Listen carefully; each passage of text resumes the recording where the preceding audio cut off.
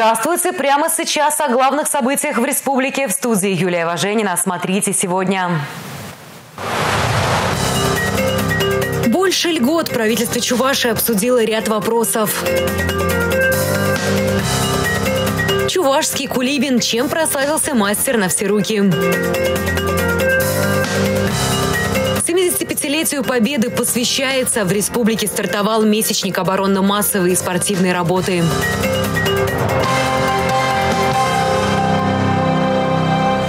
Одна из самых обсуждаемых тем этих дней – формирование нового состава правительства России. Выстраивать конструктивное взаимодействие с федеральным центром сейчас главная задача. Тему продолжит Дмитрий Ковалев. От себя лично, от Кабинета министров, жителей Чувашской республики поздравить за оказанное доверие и за назначенные уже федеральные министры, вице-премьеры по своим должностям. Пожелаем им успешного не прошло и недели после назначения председателя правительства страны, а Михаил Мишустин уже сформировал команду. Обновление состава федерального Кабмина, запрос на перемены, отметил глава региона. Задача наша, задача каждого из вас выстроить конструктивное деловое взаимодействие для того, чтобы лучшие практики были востребованы, представляя наши предложения аргументации, участвуя в федеральных программах по тем мероприятиям, которые будут уточняться, привлекать дополнительные инвестиции на территории Чувашской Республики. Обсудить рабочие вопросы с уже приступившими к своим обязанностям членами правительства глава региона намерен на полях Сочинского инвестиционного форума. Предложения от республики должны быть включены в госпрограммы развития страны, отметил Михаил Игнатьев. Надо готовиться и с теми предложениями, которые с нашей стороны будут, там участвовать на разных панельных дискуссиях, соответственно, отстаивать интересы Чувашской Республики. Среди приоритетных задач строительство доступного и комфортного жилья. Сегодня члены правительства республики приняли поправки в госпрограмму. В бюджет региона заложат еще 550 миллионов рублей. Для селян с этого года действует и специальная ипотека с минимальной ставкой в 3%. Мы планируем, что с учетом господдержки э, получат улучшение 4269 семей и на эти цели направляется 1,7 миллиарда рублей. Количество семей в республике должно э, около 30% иметь возможность приобретать жилье э, в республике, да, то есть не менее 30%. Но не всегда жилые комплексы возводят согласно генеральному плану. В качестве примера глава региона привел микрорайон Байконур. Его дольщикам подрядчики давали совсем другие обещания. А этот микрорайон был предназначен 19 гектаров вообще под наших космонавтов, чтобы был там парк, хороший парк. Но предприниматели потом все это скорректировали, городские власти отдали разрешение другого направления. 30-градусный мороз, в квартире, говорит, холодно, те, которые там проживают. Вот я обозначаю эту позицию, уважаемые коллеги, мы не должны загонять тупиковую ситуацию. Михаил Игнатьев поручил наладить тотальный контроль за тем, как реализуются проекты комплексной застройки в муниципалитетах. Отдельное муниципальное образование выдает разрешение на строительство тем строителям, тем предпринимателям, которые не могут освоить эти территории центре внимания правительство республики и бесплатная юридическая помощь. Теперь право на безвозмездные консультации специалистов получат граждане предпенсионного возраста, обманутые дольщики и вкладчики кредитных организаций. Поправки в законопроект члены Кабмина поддержали. Услуги э, тех же адвокатов будут оплачиваться за счет республиканского бюджета, а не самими гражданами. Это вопросы для граждан предпенсионного возраста, связанные связанные с исполнением трудового законодательства, в том числе правом на выход на пенсию досрочно в установленном законном порядке, граждан, участников долевого строительства по вопросам защиты прав в части действий и бездействий застройщиков. И все новые инструменты и изменения законодательства э, внесены для того, чтобы не было этих таких вообще вопиющих фактов однозначно. Конечно, есть дома у нас сейчас, которые еще недостроены. И еще одно решение Кабмина – компенсация расходов по уплате взносов на капремонт ветеранам труда. На эти цели в бюджете региона заложат порядка трех миллионов рублей. Господдержку получат более четырех тысяч человек. Дмитрий Ковалев и Борис Андреев. Республика. С 29 января в республике начинается прием детей в начальные классы. В этом году первый звонок прозвучит для 7700 детей. Записаться можно через автоматизированную информационную систему Е-услуги образования. Заявления будут приниматься по графику. Каждый день разный район. Запись начнется с Калининского района, затем Ленинский, Московский. А с 1 февраля можно будет обратиться во все общеобразовательные организации столицы Чувашии. Принимать заявления начнут с 9 утра. Для детей, не зарегистрированных на закрепленной территории, прием начнется с 1 июля на свободные места. Для подачи заявления о приеме ребенка в первый класс родителям необходимо заполнить данные на портале образовательных услуг самостоятельно или обратиться в общеобразовательное учреждение по территориальному закреплению. В случае подачи заявления через портал заявитель должен в течение семи рабочих дней представить в школу оригиналы документов. В рамках проекта «Доступный интернет» доступ к порталу госуслуги и веб-ресурсов органов власти станет бесплатным. Такое нововведение предложил Владимир Путин в своем послании Федеральному собранию. Записаться на прием к врачу, заплатить за коммунальные услуги, подать заявление на детские пособия. Сегодня все это можно сделать через интернет. Портал госуслуги набирает все больше пользователей в нашем регионе. Кстати, с 1 марта этого года зайти на все порталы госуслуг и сайты федеральных и региональных органов власти можно будет совершенно бесплатно. Операторы перестанут взимать плату за трафик при переходе на эти сайты. Зайти на них можно будет даже при нулевом балансе.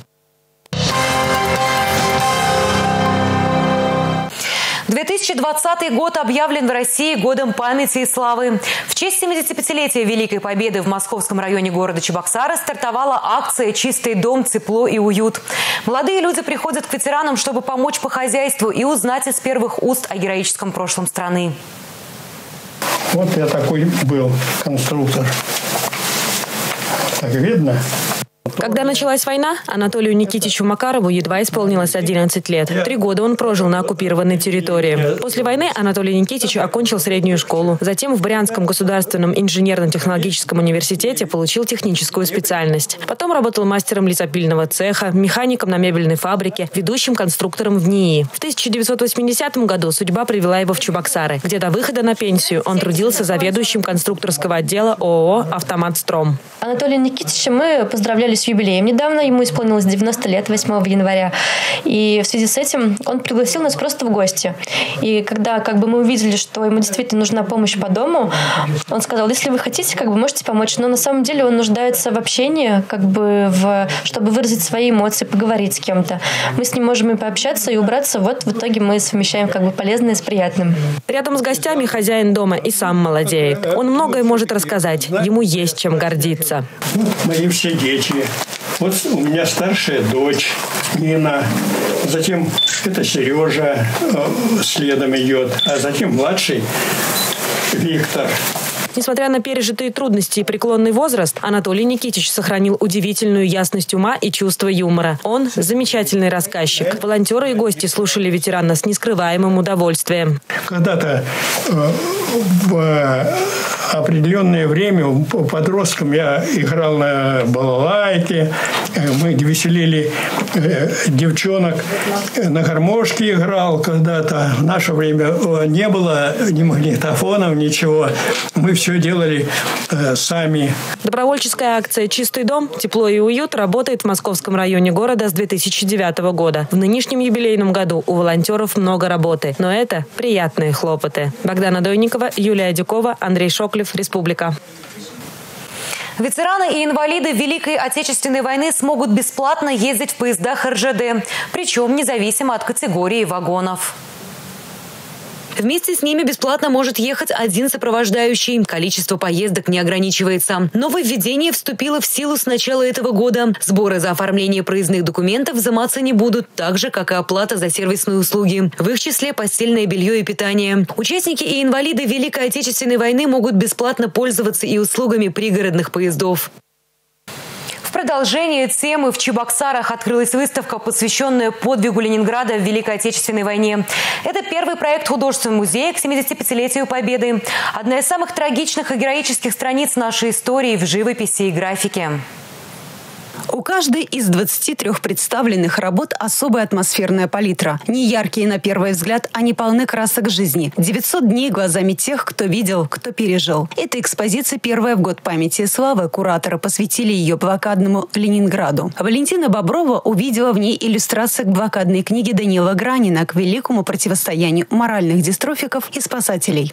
Моральными дистрофиками Даниил Гранин называет тех, кто не хочет знать и помнить обо всем, что было пережито в блокадном Ленинграде.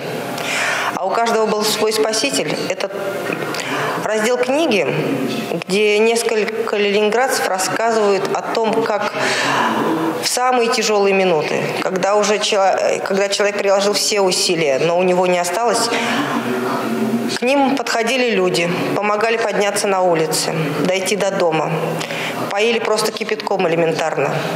И вот эта вот самоотверженность, взаимовыручка – это то, что спасло Ленинград. Вот именно духовная составляющая жителей блокадного Ленинграда. Вот именно напомнить об этом, чтобы не было у нас моральных дистрофиков, основная цель этой выставки.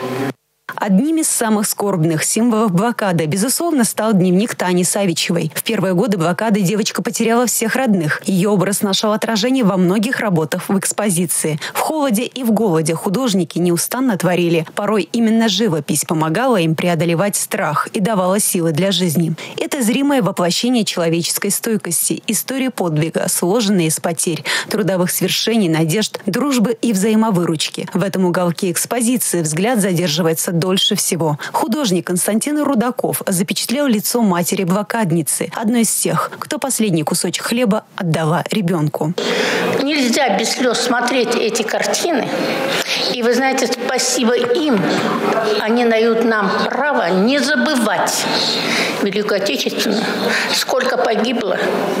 Погибли и дети. Это не только трогает душу, но и заставляет задумываться.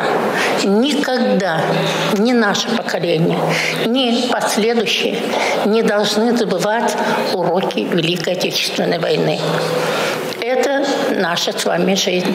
Если мы прошлое не будем помнить, нас не будет. Поэтому, вы знаете, я в восторге от этой выставки. Уходишь с настроением грустным, но с победой. Наталья Мальчикова, Алексей Зотиков, Борис Андреев, Республика. Строевая подготовка, рукопашный бой, кадетский вальс в Чебоксарах стартовал месяц усиленной спортивной и оборонно-массовой работы. А тех, кто мечтает защищать Родину, Ирина Волкова. Два года я этого хотел. Хорошо маршировал, а, везде участвовал. Тоже а, на присяге правокурсников тоже докладывал полковник. И сегодня Кирилл Гордеев – командир взвода. Целеустремленности ребятам не занимать. О карьере в погонах здесь мечтает добрая половина. Строгая форма и усиленная физнагрузка – это повседневность. Ну, я с детства такая девочка была, боевая. Мне нравится там стрелять, лазить, вот это вот все. Строение смирно, это очень интересно. У меня дедушка военный очень много рассказывал об этом вот меня как-то занесло по стопам деда, может быть. Он очень много армии рассказывал о своих друзьях. Папа был в армии, он чуть не дошел до майора. Ему пришлось тут вернуться домой, поэтому я хочу так же. Но уже продолжить как бы его путь. Важная в истории страны дата 75-летия Великой Победы пройдет красной нитью через все события месяца. И, конечно, юнормейцы будут встречаться с ветеранами Великой Отечественной войны. Во всех школах города пройдут уроки Победы. Желаю вам успехов здоровья и желание научиться тому, как защищать нашу великую Родину. Кадеты, курсанты детской полицейской академии юнормейцы станут активными участниками основных мероприятий. Дети будут писать а, свои проекты. А, кроме того, зорнички и орлята, они будут готовиться к тем мероприятиям, состязаниям, которые пройдут сначала в городе, потом, а, соответственно, на уровне республики. Это изучение и устава, это и огневая подготовка, строевая подготовка. но другие мероприятия, сопутствующие именно военно-патриотическому воспитанию и подготовке, скажем так, несовершеннолетних к будущей военной службе. Городским школам вскоре подключатся и районные. Старт республиканскому месячнику оборонно-массовой и спортивной работы дадут 25 января. Ирина Волкова, Андрей Шоклев. Республика. В Маргаушском районе живет мастер на все руки. Иван Васильев сам собирает сельхозтехнику. 29-летний Кулибин удостоился стипендии главы Чувашии за творческую устремленность. С необычным умельцем встретился Рифат Фаткулин. Для Ивана Васильева нет деталей, которые идут в утиль. Самодельные копалки, бороны, культиваторы. Двор хозяйства полон различных сельхозагрегатов. Модели не повторяются. Это и дешевле, и результат лучше. С покупной техникой нет никакого сравнения. Ведь изготавливает их молодой инженер под свои нужды. Никаких схем и чертежей, все идеи в голове. Эта машина, к примеру, собрана из запчастей старики «Жигулей» и «УАЗика». А, подкорм, мы делаем подкормку озимых. Угу. Вот, чтобы ранее весной выйти и не застрять в грязи, короче, вместо трактора быстро, эффективно. Зима уже ушла, одна зима ушла, там три месяца, что ли, у нас, три-четыре месяца ушло. Экономия на этом приличная вышла, а так сами они миллион с лишним стоят. Самоходные на колесах низкого давления. Старания молодого специалиста не прошли даром. Стипендия главы Чувашии, награда за талант и трудолюбие. Не думал, что пройду. Вот. Нормально, думаю, этот, работа, значит, виднеется, люди смотрят. Для молодежи, конечно, нужна. Это даже стимул, чтобы показать себя. У меня и отец инженер в соседнем хозяйстве работает, и учитель у меня тоже, этот, который меня всему там э, научил, этот, дорогу дал, тоже в соседнем хозяйстве тоже работает. Вот, может, после этого пошло. Потом и самому затянуло после этого. Вот и сюда пришел вот здесь. Ребята поддержали этот Сейчас Иван Васильев вместе с командой готовит технику к выходу в поле. Своевременно проведешь ремонт, спокойнее будет во время весенней страды. Коллеги по цеху молодого специалиста уважают. Он, как сказать, пришел к нам недавно, три года, четыре года назад. Но показался со всех лучших сторон. С ним очень приятно работать. Находит совсем общий язык в технике очень хорошо разбирается. Поэтому у нас получается техника в лучшем состоянии, чем была, например, раньше. То, что Иван Владимирович получил стипендию, конечно, это его полная заслуга. Планов у Ивана Васильева много, так же, как и сил и энтузиазма. Так что новые изобретения не за горами. Рифат Фаткулин, Валерий Резюков, Республика. Редкая гостья в Чувашии обнаружена полярная сова. Накануне вечером ее заметили в Канашском районе. Свое название «белая» она получила из-за окраски оперения, а синоним «полярная» из-за того, что обитает в тундровой зоне за полярным кругом. Этот вид в республике встречается очень редко. В 2010 году белую сову включили в Красную книгу республики. За последние 20 лет она замечена всего три раза. Сфотографировать вид в пределах республики удалось впервые. Таковы главные новости к этому часу. Я с вами прощаюсь. До завтра.